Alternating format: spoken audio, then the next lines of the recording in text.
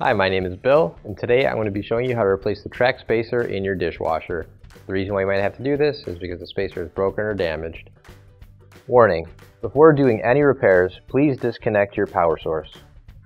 So this is the dishwasher we're going to be using for this demonstration. It's a Whirlpool. Now keep in mind yours at home might be a little bit different than what we have here, but the same technique should still apply. Also keep in mind we don't have a countertop for this, so we're actually using some weights to keep it weighted down so it doesn't tip over on us.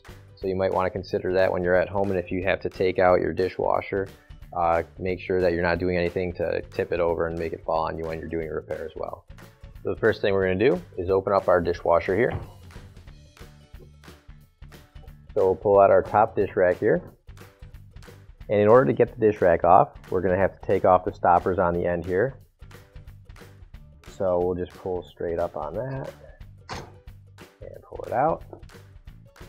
And same thing on this side. We're going to pull straight up on the stopper and then pull it straight out. Now with the stoppers out of the way, you should be able to pull your dish rack straight out. So this piece right in here is our dish rack track. We've got one on either side. So on this rail right here, on the back, it's got a stopper here, just like in the front. So we're gonna squeeze in and then push it up in order to get that stopper out. And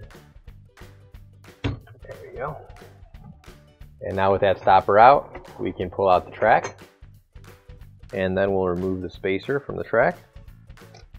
So now you can grab your new OEM replacement track spacer. And if you don't have one already, you can find it on our online store. And now we're gonna put our spacer into our track again.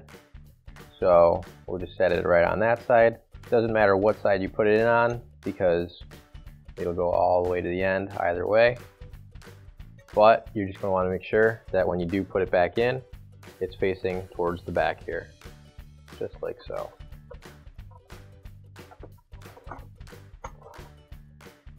So now we're going to put our rear stopper back in place. We're just going to line that up there and push it straight down. And it sits right there. And now we'll take our upper rack and we'll line up the wheels and get those inside of the track there and push that all the way back. We just want to make sure that both go inside. This one didn't. So we're going to try one more time and slide it all the way back. now we're going to slide our track out just a little bit again and we're going to put our stoppers back in place.